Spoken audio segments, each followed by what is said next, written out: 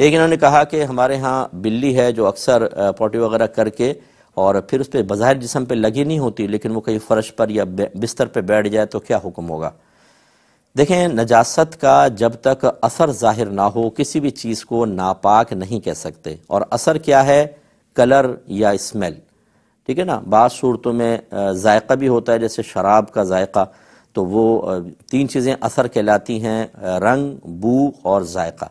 तो यहाँ जायका का तो खैर मसला नहीं तो रंग और स्मेल अगर फ़र्ज़ कर लें कहीं बैठी और उठी, और वहाँ पर कोई धब्बा नज़र आया जिससे स्मेल आ रही है तो ये नापाक होगा, चाहे वो फ़र्श पे बैठे और चाहे बिस्तर पर। फिर फ़र्श पे अगर गर्मी और धूप और हवा की वजह से उसका असर ख़त्म हो गया स्मेल वगैरह ख़त्म हो गई चाहे हल्का सा धब्बा नज़र आ रहा हो, लेकिन स्मेल बिल्कुल ख़त्म हो गई तो ज़मीन पाक हो जाएगी। लेकिन बेड वगैरह खुश्क होने के बाद पाक नहीं होते, चाहे स्मेल चली जाए, इसको भी शरीर लिहाज से पाक ही करना होगा। एक मुख्तसर